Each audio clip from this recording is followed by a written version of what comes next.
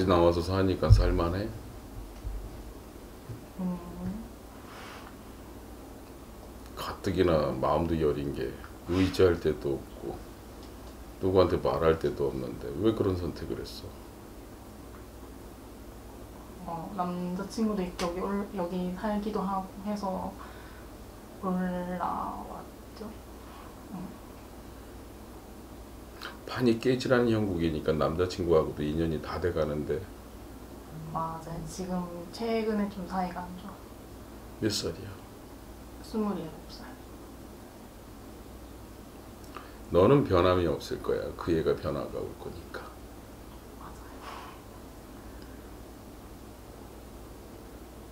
뭐가 궁금해서 왔어?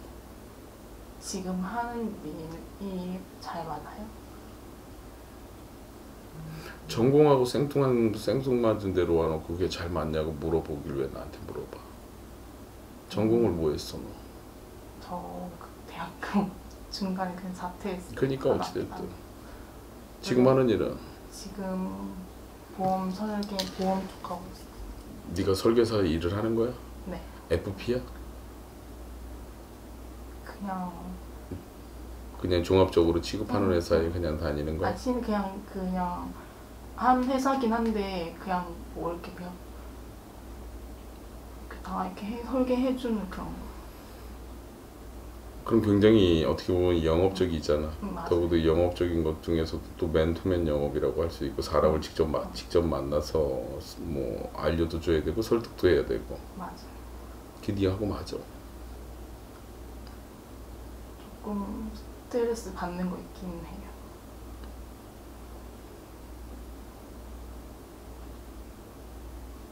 생일이 언제니? 저 8월 27일. 오늘 상담한 친구 중에 최 처음 상담했던 친구가 있는데 그 친구는 좀 장애가 몸에 있어. 어, 근데 그 친구하고 너하고의 공통된 게 뭐냐면은 굉장히 사주가 높다는 거예요. 사주가 높다는 건 팔자가 세다는 거거든. 다시 말해서 신기도 굉장히 많다는 거예요. 너희 집안 내력이 그렇게 많아. 성씨가 뭐야? 박씨, 엄마는 허씨. 허씨.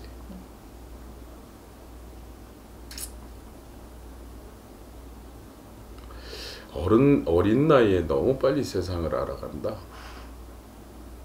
근데 그럴 수밖에 없었을 거야, 네가. 왜 요? 가정이 일단 집이 싫었을 거고 너를 그나마 챙겨주고 알아주고 보듬어주는 게 네 뭐 남자친구였을 거고. 근데 그 선택을 해서 어찌됐든 부산에서 여기 뭐 경기도 안양? 안산? 그럼 어딘가 모르게 다 뒤로 하고 네가 이리 온 건데. 근데 지금의 너의 삶은 22살이잖아 천천히 알아가도 되는데 왜 이렇게 빨리 알아가는지. 왜 그거를 하긴 황소 고집 니고집을 네 부모들이 못, 꺾, 못, 못 꺾었을 거야. 근데 내려가라고 하고 싶다. 지금 하는 일도 다 정리하고 음, 내려가서 부모님들하고 같이 있으라고 하고 싶고. 아직 머리가 있고 그러니까 좀 너한테 맞는 일을 좀 찾아서 공부 좀 하라고 하고 싶어. 그 일적으로. 대도 않는 일 지금 뜬구름 잡듯이 잡지 말고. 그럼 어떤 일을 하는 게 좋은 거예요? 전문적인 일을 갖다 좀 배워봐. 꼭 부동산 같은 거라도 그뭐 음, 아예 만약에 사람들 영업 같은 거 한다면은 너는 이렇게 한 달 직장 일해서 뭐 100만 원, 200만 원 받아서 이런 일을 너는 그게 어 지금은 네가 그것도 감지덕지하고 벌고 있겠지만 채워지지가 않아. 음, 막 분양하는 회사들이 있잖아. 네. 뭐 상가 분양이 됐고 뭐, 뭐 오피스텔 분양이 됐고 뭐 이런 쪽 그런 쪽의 일을 좀 경험 좀 하고 그런 쪽 공부 좀 하라고 하고 싶어. 그 원래 최근에 올- 안 가- 원래 이일 하기 전에는 그런 쪽으로 일을 하려고 했었는데 안 했어요. 대략 그쪽이 더 맞을 거야. 왜? 거기엔 그래도 네가 결과나 네가 시간 투자에 네 노력한 거에 보상이 좀 크게 이루어지니까. 음, 뭐 예를 들어서 한 건 할 때마다 그 페이가 틀릴 거니까. 그러면 지금 또 약간 그런 식인데 그건 안 맞는 거예요? 이거는 잔돈이잖아. 아, 어, 잔돈이니까. 그리고 돈보다는 좀 공부 좀 더 하라고 싶어. 대가리 똥 차가지고 저것도.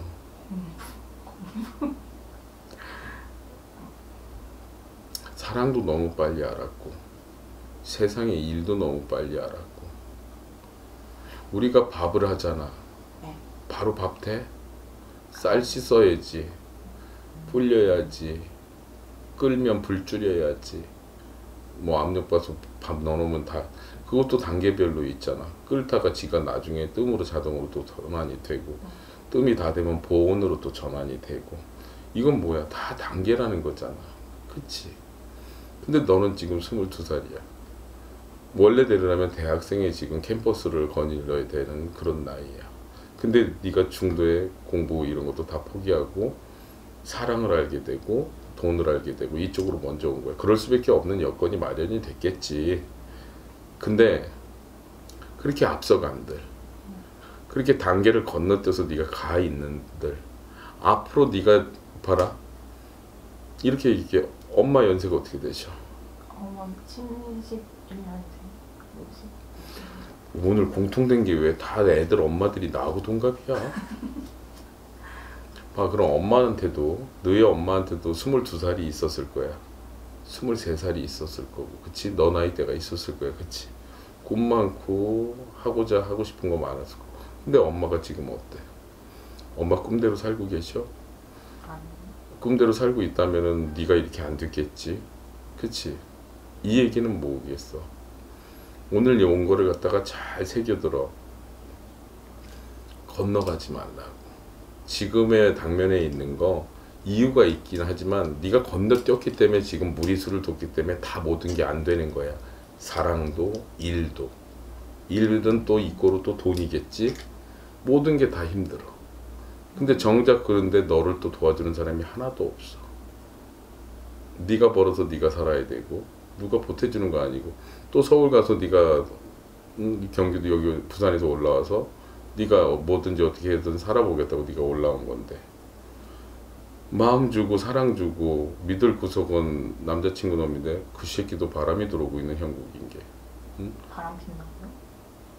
바람이 들어오고 있다고. 변화가 변화가 이루어진다는 거겠지. 그러면은 걔한테 너보다 더 예쁘고 잘난 여자가 또 들어온다면 걔 남자란 동물들은 또 그쪽으로 휩싸이게 되는 거고 갖지 말아야 될 걸 네가 먼저 가진 거야. 나중에 가져도 될 거를 먼저 땡겨서 받은 거라고. 모든 건 그러니까 건너 단계라는 걸 갖다 넘어서게 되면 꼭 문제가 발생이 되는 거야. 알겠니? 솔직하게 얘기를 해. 왜 너 뭐 지운 거 있어? 네 나이에 지금 그게 있을 수 있는 거야?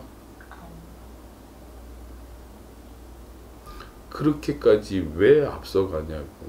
사랑 좀 이따가 해도 되는데, 좀 이따가 돈 벌어도 되는데, 세상 좀 이따가 알아도 되는데, 왜 그걸 먼저 앞섰냐고. 네 고집이 아무리 황소 고집이래지만 왜 니네 부모들은 너를 그걸 꺾이지를 못했을까? 응? 엄마 아빠 아빠는 왜 그러고 사실까? 아빠가 뭐- 몇 살이야? 아빠 70년생 70년대 한 살 많으시네 엄마보다 같이 살고나 있냐? 너네 엄마 아빠? 저 20살 9월쯤에 이혼했어요 그치? 네가 그러니까 사랑을 찾을 수밖에 없는 이유도 이해는 가. 왜 집이 싫으니까. 응? 얼른 너도 사랑하는 사람 만나서 뭐 같이 집이 싫어서 어떻게 보면 네가 돌파구고 그쪽을 찾은 건데 그게 아니라는 거야. 왜 그런 걸 갖다 말리지 않을까? 간단해. 다 접고 내려가. 일도 받고 사랑 연연하지 마. 지금 남자친구. 시간이 가면 네가 더 아파질 거니까. 궁금해서 삼촌한테 여길 찾아온 거잖아, 덕천하면. 그치? 시원하게 얘기해 주는 거야. 너는 지금 다 바꿔야 돼. 전문적인 걸 공부 좀 해봐. 아까 얘기해 줬던 그런 일들. 그 속에서 그리고 외로운 거는 모든 사람들이 외로움은 가지고 있어. 근데 유독 그게 너는 되게 많아. 너는 남들이 봤을 때 굉장히 너를 외모만 본다면 굉장히 강하게 봐. 근데 속은 너처럼 여자가 없거든. 소녀 근성도 되게 많고 눈물도 많고. 근데 사람들은 너를 그렇게 안 봐. 근데 너는 그렇게 여려. 상처도 많고. 근데 삼촌이 진짜 아빠 같으니까 하는 얘긴데 지금 벌써 그런 거 겪지 마라. 아파도 엄마 앞에서, 아빠 앞에서, 눈물 흘려도 엄마 앞에서, 딱 너가 그럴 때야. 네 혼자 지금 입을 뒤집어 쓰고 베개에다가 네 눈물 적셔가면서 너가 지금 벌써 그거 할 때가 아니야. 너무 빨리 너무 다른 길로 돌아왔어. 제자리로 가. 부산에 가면은 네 고시 집이 부산이라고? 엄마 부산에 계셔 그럼 엄마 아빠는 다 거기 가서 네가 이 다시 할 수 있는 일이 있을 거고 공부가 됐건 일이 됐건 하물며 사랑이 됐건 거기서 다시 시작해. 너무 빨리 왔어. 너무 멀리, 너무 빨리. 알겠니?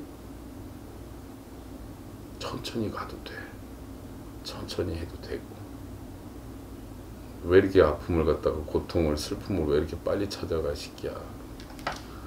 니네 엄마 아빠가 만약에 왔으면 욕 돼지게 했을 거야. 니네 아버지는 내가 한 대 때렸을 수도 있어. 왜요? 왜 딸년을 갖다가 말리지 않았는지. 왜 너를 이렇게 놔두게 이렇게 살게 놔두는지. 그걸 물을 거야. 또. 뭐 또 필요 없지. 다 때려치고 내려가라니까. 그러면 계속 남자친구랑 안 좋은 거 아니에요? 더 안 좋을 거야. 너는 변함이 없어. 네.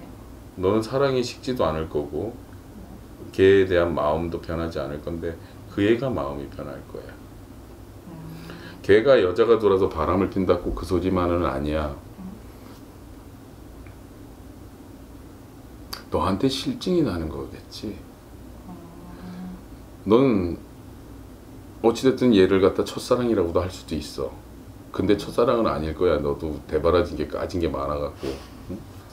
근데 지금의 이 남자친구나 그 전에 네가 사귀었던 애들이나 가만 생각해봐. 네가 떠나온 적이 한 번도 없어. 너를 떠나갔지 다. 왜 그런 줄 아니? 너는 집요한 게 있어. 욕심이 굉장히 많아. 사람에 대한 욕심. 뭘 아침에 몇 시에 일어났는지, 아침은 뭘 먹었는지, 점심엔 뭘 먹었는지, 누구랑 밥을 먹었는지, 저녁엔 몇 시에 끝나고 몇 시에 밥 먹을 건지, 나라를 몇 시에 만날 건지. 넌 사랑이고 애착이야. 근데 상대는 집요하고,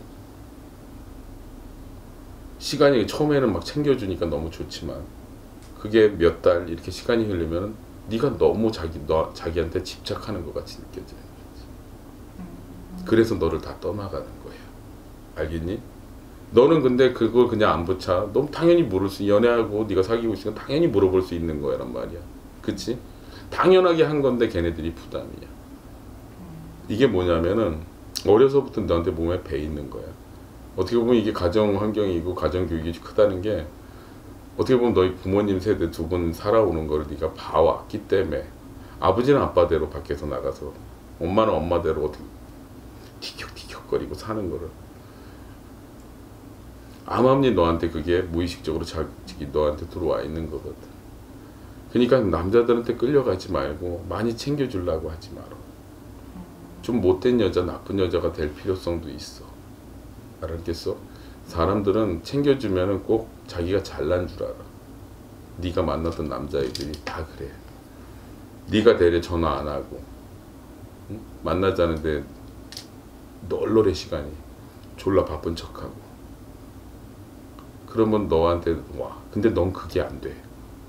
걔네들 그 남자들한테 그렇게 생각하고 판단할 시간을 네 스스로가 안 준다고.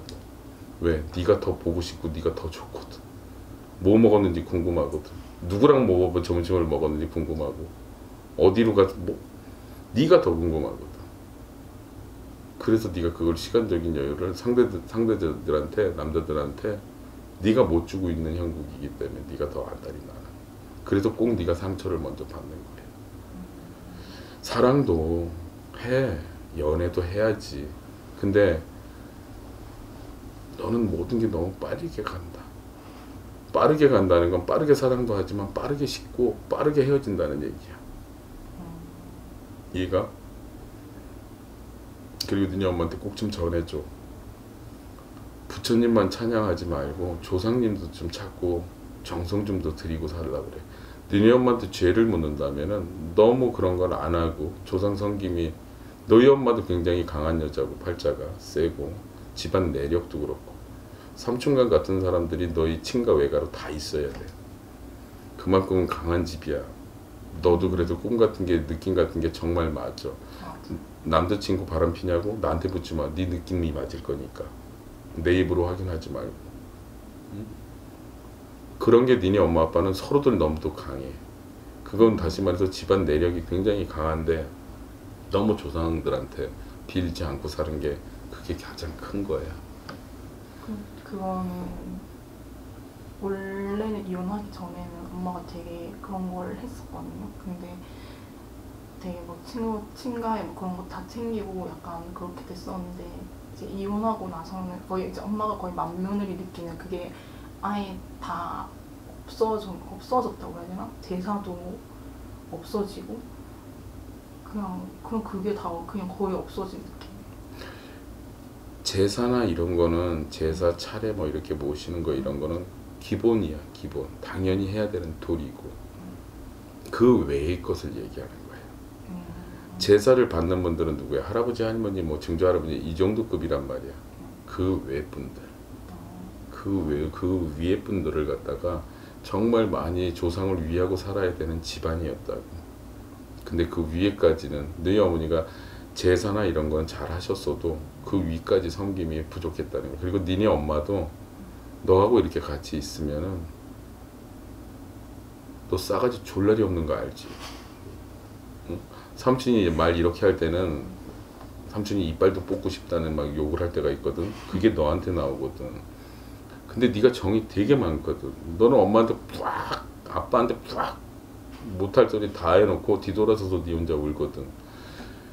또 다른 네가 여기 있는 거야. 모든 사람들은 또 다른 다른 전, 또 다른 내가 있는 걸 우리가 직성이라고 부르는데 굉장히 그 직성이 강해. 그래서 넌 누구 욕도 하고 누구 저주도 하면 안 돼. 너무 강해서. 근데 그게 엄마도 똑같이 강해. 아빠도 강해.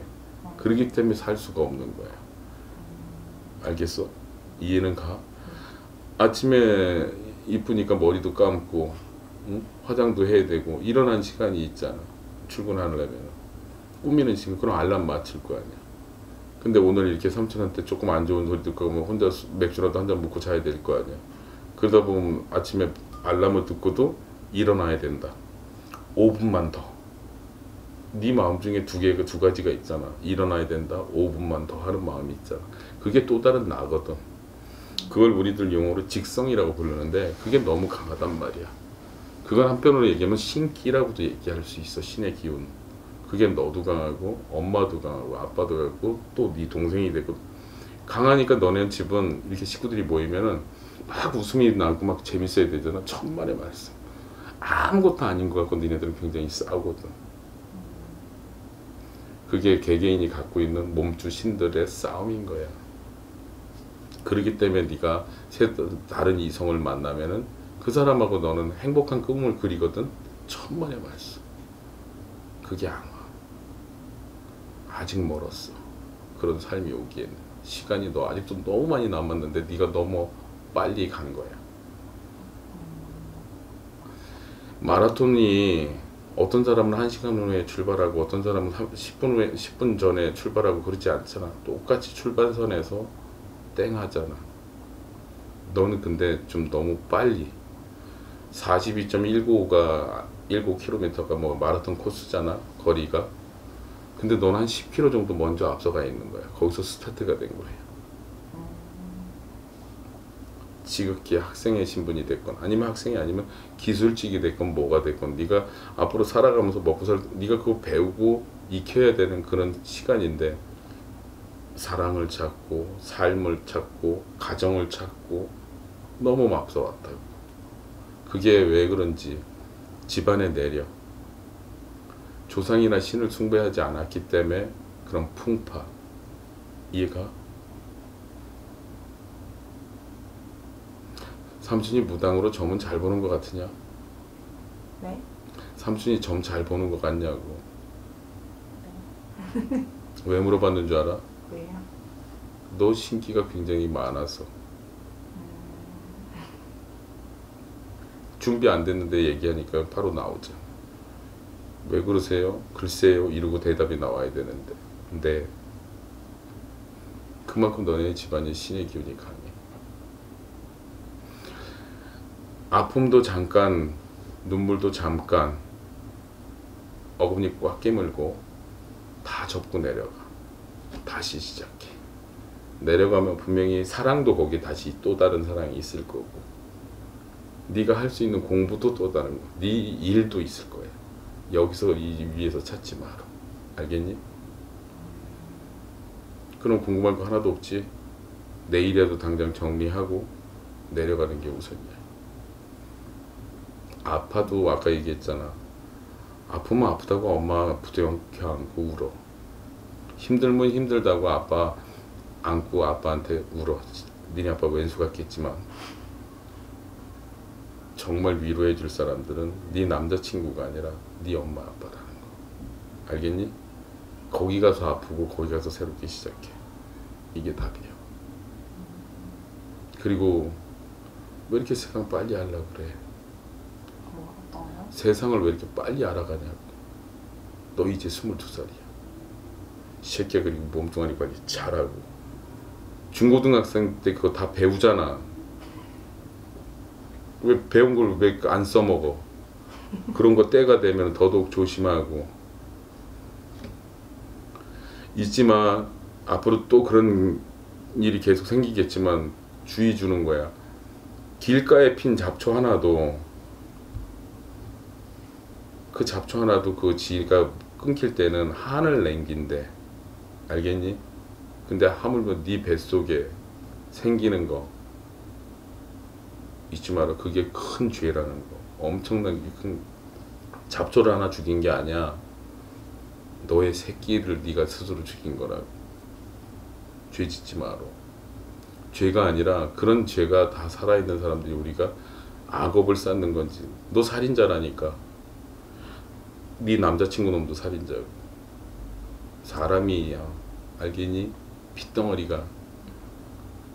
그건 뭐야? 또 사랑도 하고 또 만남도 갖고 또 그런 거- 뭐 생활도 하겠지. 철저하게 관리 잘하라. 괜찮겠지 이렇게 넘기지 말고. 너 같은 놈이 또 나오는 거야. 너 스스로 지금 너는 박복하다 생각하고 너 힘들다고 생각하잖아. 그런 애가 또 생기는 거라고 니도. 계속 악업에 악업. 알겠니? 힘들고 아팠던 거 너도 분명히 엄마가 될 거야. 네 새끼한테는 주지 말아야지. 이가지? 언제 내려갈 거야? 내년에 모든 걸 다 바꿔야 되니까 사랑도 접어 어머니 꽉 깨물고 눈물 한번 흘리고 말어. 시간이 더 갈수록 네가 더 상처를 받게 될 거야 남자친구한테는. 천천히 알아가. 그리고 니한테 할 소리는 아닌데 금년에 니네는 니네 집안은 산을 산소를 뭐 좀 만졌나 보다. 최근에요? 금년에 금 년에 윤달이 있었잖아. 4월달, 5월달, 6월 양 음력으로 4월달이 윤달이었으니까 4, 5월달에 니네 집이 큰 집은 아닌 것 같아. 작은 집이야, 니네 아버지가. 음, 저희 아빠가 셋째. 그러니까 그치. 첫, 그러니까 첫째 큰아버지는 그리고 좌우지간 작은 니네 집이 작은 집 같아. 큰 집은 아닌데 큰 집에서 손을 댄 것 같아. 무슨 산소가 됐건 산이 탈이 좀 나 있는 거 보면은 그 그게 예전에 몇 년 전에 한번 그게 그게 바, 바뀌었다고 들었어. 그러니까 뭐라고 해야 되지? 그 산소가 있는데 그게 다른 산소랑 뭔가 서, 서류적인 건지 모르겠는데 뭔가 그게 뒤바뀌어 있다고 들었었거든요. 근데 그거를 다시 바로 잡. 아무튼 금년에 윤달이 있었거든. 금년에 이, 지금 20년 경자년에 금년에 또 뭔가 만지고 바꿨다는 것 같아. 산탈이라고 나오는 거 보면은 이 산탈들이 생기면은 여자들보다 남자들이 더 안 좋거든. 건강이 건강상의 문제가 생기든가 사업적으로 하는 일들이 안 된다고 더 나가서는 막 목숨을 갖다가 담보로 하는 일도 생겨. 한번 그거는 엄마나 아빠하고 한번 한번 물어봐봐. 그런 게 있을 거야 분명히. 건- 지금- 건능 그쯤에 한번 그냥 같이 산소를 갔었는데 그냥 거기 그거는 큰아빠 큰아빠네에서 손댄 거니까 니네 집에서 모를 수도 있어. 저희 저희가 가서 그냥 그게 너무 산소를 알아볼 수 없을 정도로 훼손이 돼 있어가지고 손 좀 보고 그랬어. 그냥 아니 그냥 거기 너무 이렇게 민들레 밭이 다 돼서 그냥 그 산소도 알아볼 수 없을 만큼 민들레 밭이 다 되어 있어가지고 그냥 그 가기 한 달 전에 제 꿈에 그냥 돌아가신 큰 아빠가 나와가지고 그냥 기다리 나를 좀 기다리는 느낌을 받아가지고 그냥 아 그런가 보다 하고 그냥 산소를 그냥 한 번 다 같이 가자 이렇게 돼가지고 갔는데 그렇게 돼 있어가지고 제가 알기로는 그냥 거기를 그냥 산소 그냥 다 벌초한 거예요.